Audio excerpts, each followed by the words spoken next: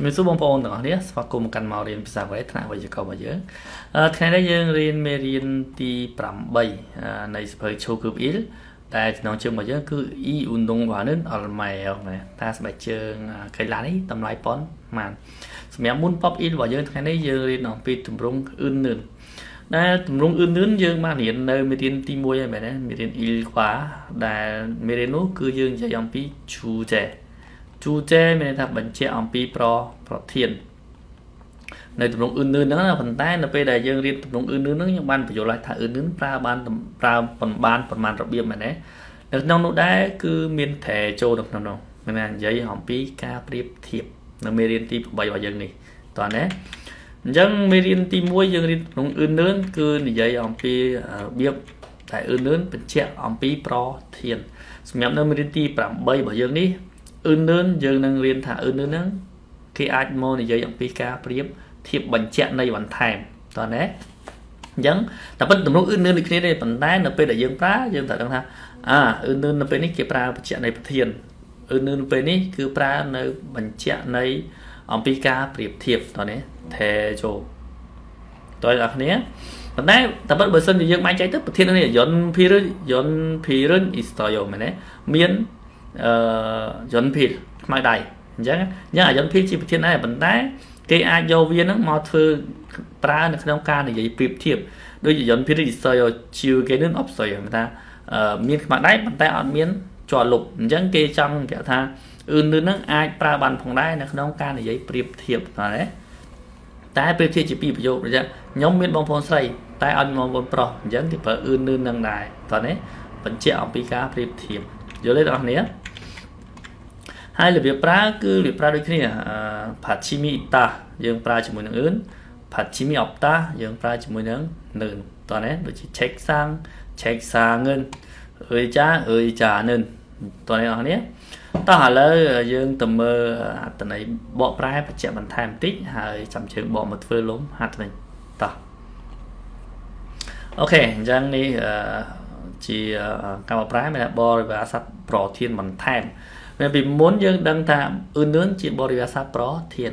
ប៉ុន្តែនៅក្នុងមេរៀនទី1មុនខ្ញុំបានបញ្ជាក់ដែរថាអ៊ឺនឿននេះផងដែរក៏ប្រើសម្រាប់ពីពណ៌នាពីលក្ខណៈខុសគ្នាឬក៏ផ្ទុយគ្នានៅប្រយោគខាងមុខនិងប្រយោគខាងក្រោយដែលយើងនិយាយថាប្រៀបធៀបតើនេះប្រៀបធៀបថាអូពីអាផ្លែឈើនេះទូចផ្លែឈើនោះធំ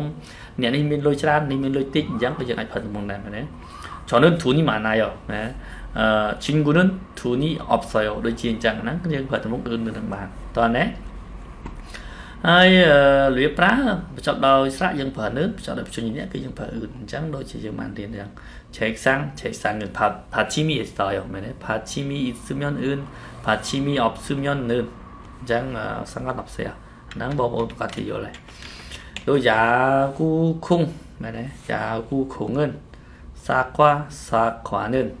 តោះណាជាមូឧទាហរណ៍ជាមួយគ្នាទាំងអស់គ្នាឧទាហរណ៍នៅខាងក្រោមនេះ1번គេដាក់ថាអឺ 농구 공은 커요 야구 공은 작아요 មែនទេគាត់ថាក្របបាល់ទះហ្នឹងគឺធំមែនទេតែក្របបាល់គប់មែនទេយ៉ាគូអាកលាគប់បាល់យ៉ាគូខុងហ្នឹងចាកាយមែនទេអាកលាកូនបាល់វាហ្នឹងគឺវាតូចអញ្ចឹងអ៊ឺននៅនេះ វាបើយើងនិយាយថាវាបញ្ជាក់ធានផង ហើយវាបញ្ជាក់អំពីការប្រៀបធៀបផងតោះនេះយើងគ្រាន់តែចំណាំប៉ុណ្ណឹងយើងគ្រាន់តែចាំថាអ៊ឺននៅពេលដែលគេសរសេរប្រយោគពីរចុះគ្នាចេះវាចូលទៅក្នុងការប្រៀបធៀប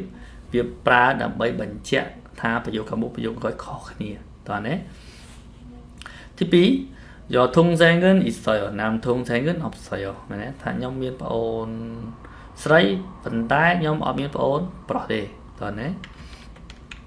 ទី3 수박은 적어요 배는 많아요 មែនទេថាផ្លែលឹកនឹងគឺមានតិចហើយផ្លែសេរីនឹងគឺមានច្រើនថាណាអញ្ចឹងអ៊ឺនឿននេះគឺគេមកដើម្បីប្រៀបធៀបហើយប្រៀបទៅថាអានេះតិចអានេះច្រើនអញ្ចឹងតែ 저는 망고를 좋아해요. 배는 싫어해요. មែនទេខ្ញុំចូលចិត្តផ្លែស្វាយហើយមិនចូលចិត្តផ្លែអឺផ្លែសារីមែនទេអញ្ចឹងផ្លែសារីខ្ញុំអត់ចូលចិត្តទេណា អញ្ចឹងអាហ្នឹងគឺយើងប្រើអ៊ឺននឿនដើម្បីប្រៀបធៀបតោះណា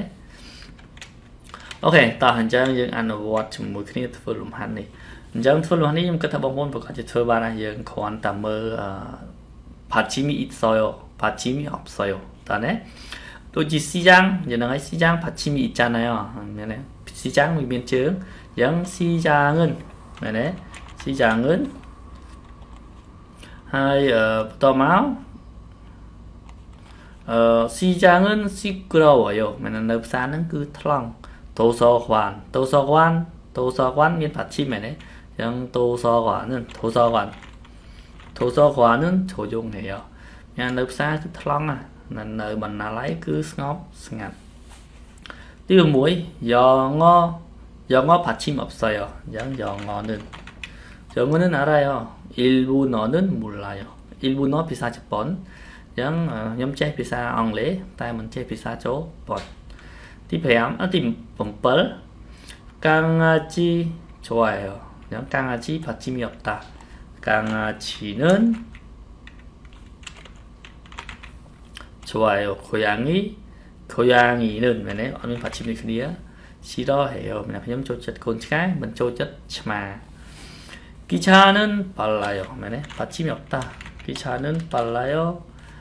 자전거는 느려요. 네네. 아, 자동차는 비싸요. 아, 란, 란 트라이. 다이, 모토, 뭐 그, 다오. 오토바이는. 더마오, 디담. 겨울, 겨울 받침 있잖아요. 겨울은. 네네. 겨울은 추워요. 품은 따뜻해요. 네, 럽가리 그, 꺽, 나으스러워요. 떠나가요. អ្នកនេះអញ្ចឹងនេះគឺលំហាត់របស់យើងហើយនឹងអត្តន័យអញ្ចឹងខ្ញុំបញ្ជាក់ម្ដងទៀតបងប្អូន kalau បងប្អូនច្រឡំទម្រង់អឿននឿនគឺជាទម្រង់បរិវារស័ព្ទធានតើណាប៉ុន្តែទម្រង់នឹងផងដែរយើងអាចប្រើបញ្ជាក់វិធានហើយក៏អាចប្រើដើម្បីនិយាយពីពណ៌នាអំពីលក្ខណៈខុសគ្នា នៅប្រយោគខាងមុខជាមួយនឹងប្រយោគខាងក្រោយបានដែរតោះទេអញ្ចឹងវាមកបញ្ជាក់ន័យយល់ទេបងប្អូនហើយអត់មានអត្ថន័យប្រែទេនៅក្នុង ករណីបែបនេះយើងគ្រាន់ដឹងថាអាគេប្រើទំនងអឿននឿននេះគឺដើម្បីបញ្ជាក់ន័យថាប្រយោគខាងមុខនិងប្រយោគក្រោយវាមានអត្ថន័យផ្ទុយគ្នាតោះទេអូខេតោះឥឡូវយើងទៅធ្វើលំហាត់នឹងសភៅយើងដើម្បីបញ្ចប់មេរៀនរបស់យើង ជាសួរបងប្អូនទាំងអស់គ្នាដែលចង់រៀនភាសាកូរ៉េតាមវគ្គសាស្ត្រវិទ្យាប្រូក្រាមដើម្បីដូរវីសា E9 ទៅ E7 និងបងប្អូនដែលចង់រៀនភាសាកូរ៉េដើម្បីដូរវីសា E9B ដែលរស់នៅកូរ៉េបាន10ឆ្នាំនិងបងប្អូនដែលចង់រៀនដើម្បីប្រើប្រាស់ប្រចាំថ្ងៃក៏ដូចជារៀនប្រឡងចូលជាតិប៉ុន្តែអត់មានពេលទៅរៀនវគ្គខ្សួងសាស្ត្រវិទ្យាប្រូក្រាមផ្ទាល់ហើយចង់រៀនបំពន់ជាភាសាខ្មែរឲ្យងាយយល់ហើយចាំទៅប្រឡងវគ្គខ្សួងដើម្បីយកកម្រិតខ្ពស់រៀនបញ្ចប់ជាមួយខ្សួងបានជោគជ័យអញ្ចឹងខ្ញុំមានបរិញ្ញាវគ្គនេះដើម្បីឲ្យបងប្អូនងាយស្រួលសិក្សាងាយស្រួលយល់ព្រោះយើងរៀនជាវីដេអូអញ្ចឹងបងប្អូនអាចសិក្សាម្ដងហើយម្ដងទៀតរំលឹកបានរហូតហើយមានចង្អុលអាចចាំមកសួរតែបានផងដែរដែលយើងរៀនតាមសភៅសួងវគ្គសាវេទនាប្រូក្រាមផ្ទាល់តែម្ដង ការរៀនបែបនេះដើម្បីបងប្អូនដែលធ្វើការកសិកម្មឬក៏ឧស្សាហកម្មដែលមានពេលអត់សូវមានពេលរៀនបងប្អូនដែល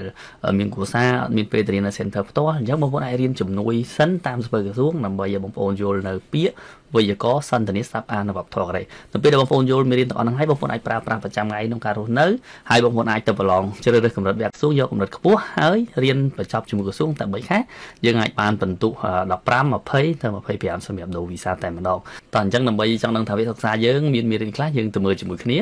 អូខេបងប្អូននេះជាវគ្គសិក្សារបស់យើងរៀនជីវិតបែបនេះដែលខ្ញុំនឹងបញ្យល់នៅមេរៀននេះជាមេរៀនកម្រិត2ដែលដំបូងយើងសិក្សាអំពីចំណងជើងមេរៀនខ្ញុំបកប្រែជូនបន្ទាប់ពីសិក្សាពីចំណងជើងហើយយើងមកសិក្សាពីគោលបំណងនៃមេរៀនតើតើគោលបំណងមេរៀនមេរៀនទី5ហ្នឹងសិក្សាពីអីអំពីយ៉ាគោកហើយពាក្យតកតងក្នុងហ្នឹងសកម្មភាពនិងវប្បធម៌ក្នុងហ្នឹងយើងយើងរៀនពាក្យ វេយ្យាករណ៍សន្តានាសម្អាតនិងវប្បធម៌កូរ៉េបន្តមកយើងនឹងបកស្រាយអំពីរូបនេះដោយឆ្លើយសំណួរនៅខាងក្រោមហើយបន្តមកយើងសិក្សាអំពីពាក្យពីព្រោះដំបូងយើងត្រូវចេះពាក្យសិនចេះពាក្យហើយយើងត្រូវចេះវេយ្យាករណ៍បានយើងអាចយកពាក្យនិងវេយ្យាករណ៍បង្កើតជាប្រយោគប្រើប្រាស់ប្រចាំថ្ងៃក៏ដូចជាការដោះស្រាយលំហាត់ពេលប្រឡងពីព្រោះបើយើងអត់ចេះពាក្យយើងអត់ដឹងគេថាម៉េចទេ បើយើងអត់ចេះវេយ្យាករណ៍យើងក៏អាចដោះស្រាយលំហាត់ការបកប្រែឬក៏បង្កើតជាប្រយោគបានដែរបងប្អូនអញ្ចឹងអញ្ចឹងនៅពេលដែលពាក្យទី1នេះគឺតកតងនឹងជំងឺតែគឺសួរយើងឈឺតាណាយើងឡើងកម្ដៅរៀនពាក្យតកតងទាំងអស់ហ្នឹងអញ្ចឹងខ្ញុំបកប្រែពាក្យទាំងអស់ហ្នឹងជាភាសាខ្មែរប្រយោគជូនតែម្ដងអញ្ចឹងបងប្អូនអាចមើលម្ដងហើយម្ដងទៀត សម្រាប់ជាភាសាខ្មែរបងប្អូនងាយស្រួលយល់ងាយស្រួលចាំហើយដោយសារយើងរៀនជាវីដេអូអញ្ចឹងបងប្អូនមើលម្ដងហើយមើលម្ដងទៀតបានតើអ្នកនរនេះអាចសិក្សាមកចេះតែម្ដងជារួមដល់ពេលយើងចេះពាក្យហើយយើងត្រូវចេះវេយ្យាករណ៍អញ្ចឹងយើងរៀនទម្រង់អ៊ឺមញ៉ុនអញ្ចឹងថាអ៊ឺមញ៉ុនចំប្រើនៅពេលណាខ្លះហើយខ្ញុំមានសភៅវេយ្យាករណ៍ដែលបកប្រែខ្មែរជំនួយឲ្យបងប្អូនសិក្សាបន្ថែមផងដែរអញ្ចឹងបញ្យល់ជាភាសាខ្មែរផងបញ្យល់ជាភាសាកូរ៉េផងហើយយើងអនុវត្តធ្វើលំហាត់ទាំងអស់ហ្នឹងដែលក្រសួងគេដាក់យើងអានអានឲ្យបកប្រែជូន បន្តមកយើងអនុវត្តធ្វើលំហាត់ទាំងអស់នេះអញ្ចឹងបងប្អូនកាន់តែចេះថាពេលយើងឈឺយើងត្រូវបញ្យល់វាមិនប្រើវេយ្យាករណ៍មួយណាតើអ្នកគ្នាបន្ទាប់ពីយើងសិក្សាទី1ហើយយើងមកសិក្សាពាក្យទី2អញ្ចឹងពាក្យទី2គឺយើងនិយាយអំពីថ្នាំម្ដងថ្នាំបញ្ចុះកម្ដៅបិទកៅអ៊ីអីជាដើមអញ្ចឹងគឺយើងរៀនពីពាក្យទាំងអស់ហ្នឹងអញ្ចឹងបងប្អូនអាចប្រើប្រាស់ក្នុងការរស់នៅប្រចាំថ្ងៃផងពេលទៅប្រឡងគេសួរមកយើងក៏ចេះឆ្លើយពេលលំហាត់ តេស្តសមត្ថភាពក៏យើងអាចធ្វើបានដែរព្រោះយើងចេះពាក្យអីទាំងនេះអញ្ចឹងចេះពាក្យហើយបន្តមកយើងសិក្សាពីវេយ្យាករណ៍ម្ដងទៀតអញ្ចឹងស្ពើក្រសួងគឺល្អគេរៀនពាក្យវេយ្យាករណ៍បន្ទាប់ពីយើងរៀនវេយ្យាករណ៍អនុវត្តធ្វើវេយ្យាករណ៍ហើយគឺមកហាគីវ៉ាគីមែនការនិយាយនិងការស្ដាប់ដើម្បីឲ្យយើងស៊ាំនៅក្នុងការរស់នៅប្រទេសកូរ៉េក៏ដូចជាការធ្វើលំហាត់យើងត្រូវចេះស្ដាប់សិនថាតើគេនិយាយមកគេនិយាយពីអីមែនទេអញ្ចឹងនៅពេលចេះពាក្យហើយគេស្ដាប់ការនិយាយរបស់គេ យើងនឹងដឹងអំពីផារឿងរបស់គេថាគេបញ្ចេញសលេងវាមិនពាក្យនឹងហើយប្រែថាម៉េចអញ្ចឹងខ្ញុំនឹងចាក់សលេងបងប្អូនស្ដាប់បងប្អូនស្ដាប់ហើយខ្ញុំអានជូនខ្ញុំបកប្រែជូនម្ដងទៀតដើម្បីបងប្អូនសូមក្នុងការបកប្រែសូមក្នុងការស្ដាប់តើអ្នកទាំងនេះបន្ទាប់ពីសូមក្នុងការស្ដាប់ហើយយើងរៀនស្ដាប់ដើម្បីធ្វើលំហាត់បន្ថែម បន្ទាប់មករៀនសរសេរឬគីវ៉ាស៊ូគីមានថាការអាននិងការសរសេរអញ្ចឹងយើងរៀនអានអានអត្ថបទនេះតកតងនឹងឆ្នាំបន្ទាប់មកយើងរៀនធ្វើលំហាត់ហើយទាំងអស់នេះសិតតែខ្ញុំបកប្រែជូនអញ្ចឹងបងប្អូនអាចមើលម្ដងហើយម្ដងទៀតរៀនធ្វើលំហាត់រៀនអានខ្លួនឯងដើម្បីយើងស៊ាំតើណាបន្ទាប់ពីនោះមកគឺយើងនឹងរៀនសរសេរហើយបន្តមកគឺអ្វីដែលសំខាន់មួយទៀតគឺវប្បធម៌គឺឆុងបោមែនមុនហៅឆុងបោវប្បធម៌និងពណ៌ព័ត៌មានទូទៅអញ្ចឹងខ្ញុំនឹងអានជូននៅអត្ថបទទាំងអស់នេះអានជូនឲ្យបងប្អូនយល់ថាអឺជួយជីគឹមយ៉ាគុកនឹងជាអ្វីហើយយើងអានពាក្យទាំងអស់ហ្នឹងបងប្អូនអាចចេះពាក្យទាំងអស់ហ្នឹងហើយយល់ពីវប្បធម៌ក្រេទៀតអឺអត្តន័យវប្បធម៌ផលប្រយោជន៍របស់វាគឺធ្វើឲ្យបងបងប្អូនស្វែងយល់ពីសង្គមកូរ៉េចេះអំពីវប្បធម៌កូរ៉េប្រើប្រាស់ក្នុងការរស់នៅប្រចាំថ្ងៃក៏ដូចជាការប្រឡងជាពិសេសបងប្អូនប្រឡងអឺដូចវីសា E7 និងបងប្អូនដែលចូលសញ្ជាតិការ កូរ៉េទាំងនេះអញ្ចឹងនេះជាអត្ថន័យមេរៀននៃមេរៀនមកកម្រិតមកកម្រិតនៃសភៅក្រសួងអញ្ចឹងសភៅកម្រិត2ដល់ពេលរៀនចប់មេរៀនទី5ហើយយើងបន្តមកសិក្សាមេរៀនទី6ទៀតអញ្ចឹងគឺដូចគ្នាយើងរៀនពីចំណងជើងមែនទេ Machine Umsigel Mogul តែ Handbook Hell មែនទេតោះមកយើងសិក្សាអំពីគោលបំណងនៃមេរៀនហើយយើងរៀនអំពីពាក្យក៏ដូចជាមេរៀនទាំងអស់ហ្នឹងឯងមែនទេគីពូនីឈុតតាមានអារម្មណ៍ល្អអារម្មណ៍មិនល្អជាដើមហ្នឹង ហើយបន្តមកគឺយើងរៀនអំពី វេយ្យាករណ៍អញ្ចឹងនៅពេលដែលយើងសិក្សាបែបនេះបងប្អូនងាយស្រួលយល់ងាយស្រួលរំលឹកឡើងវិញហើយរាល់មានចង្អុលឯណាអាចឆាន់មកសួរបានអញ្ចឹងបងប្អូនអឺពិតជាជំនួយក្នុងការរៀនដើម្បីប្រើប្រាស់ប្រចាំថ្ងៃដើម្បីរៀនប្រឡងដូវិសា E7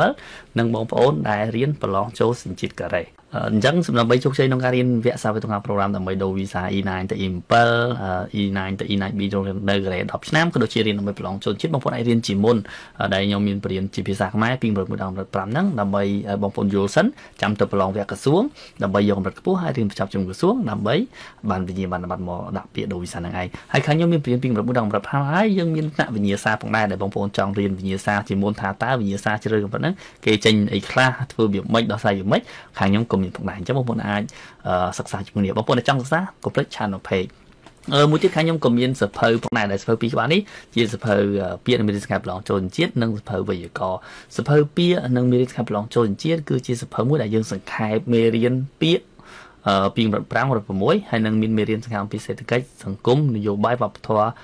កូរ៉េដើម្បីបងប្អូនស្វែងយល់នៅមេរៀនសង្គមកូរ៉េជាមុនដើម្បីងាយស្រួលប្រឡងហើយមួយទៀតក្នុងនេះមានវិញ្ញាសាប្រឡងជ្រើសរើសកម្រិតវគ្គក្រសួងផងដែរនិងវិញ្ញាសាប្រឡងបញ្ចប់ជំហាប់ប្រងការកម្រិត5ហើយនឹងវិញ្ញាសាសម្ភារសម្រាប់បងប្អូនដែលចង់ទៅសម្ភារកន្លែងតោដើម្បីចូលសញ្ជាតិកូរ៉េតើដល់នេះយើងសភៅហ្នឹងបងប្អូនដែលត្រូវការខាងខ្ញុំនឹងរៀបចំជូនហើយបើសិនជាបងប្អូនទិញជាមួយនឹងសភៅវិទ្យាករខាងខ្ញុំមានបញ្ចុះតម្លៃជូនផងដែរពីព្រោះសភៅវេយ្យាករណ៍គឺជាសភៅមួយដែលយើងបញ្យល់វេយ្យាករណ៍ពីកម្រិត1ដល់កម្រិត6វេយ្យាករណ៍សំខាន់សំខាន់បញ្យល់ជាភាសាខ្មែរទាំងអស់អមទៅដល់សន្ទនាខាងក្រោមហ្នឹងហើយមួយទៀត មានពាក្យពីកម្រិត1ដល់កម្រិត4ផងដែរទាំងគ្នាអញ្ចឹងសភៅ2បាននឹងវាបំពេញគ្នាមួយមេរៀនសង្ខេបអំពីសេដ្ឋកិច្ចសង្គមនយោបាយវប្បធម៌កូរ៉េវិញ្ញាសាសម្ភាសវិញ្ញាសាប្រឡងជ្រើកម្រិតវិញ្ញាសាប្រឡងចាប់កម្រិត5ហើយមួយទៀតវេយ្យាករណ៍គ្រប់កម្រិតនិងពាក្យកម្រិត1ដល់កម្រិត4អញ្ចឹងសម្រាប់បងប្អូនរៀនដូវីសាបងប្អូនរៀនដើម្បីប្រើប្រាស់ប្រចាំថ្ងៃជាពិសេសបងប្អូនដែលចង់ទៅ